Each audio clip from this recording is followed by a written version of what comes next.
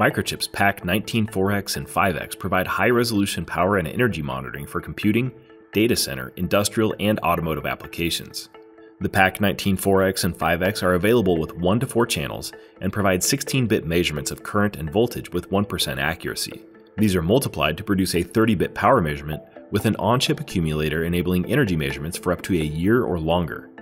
An I2C or SM bus is used to retrieve data and set sampling rates and other parameters.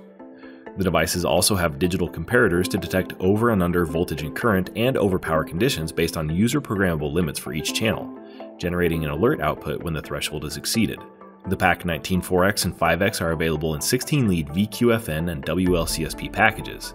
They offer a robust design that can tolerate 7500 volt ESD events, 40 volt input transients, and operation at up to 125 degrees Celsius.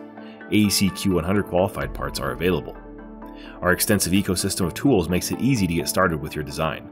The PAC 1944 and 54 evaluation boards enable easy connection of power sources and loads for up to four channels.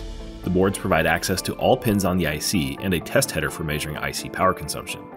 They can be connected to a PC via USB or to an external host. Drivers for PIC and AVR microcontrollers and for Windows, Linux, and Python are available to simplify integration. Additional information about the PAC 194X and 5X, development tools, and code examples can be found by following the on screen link.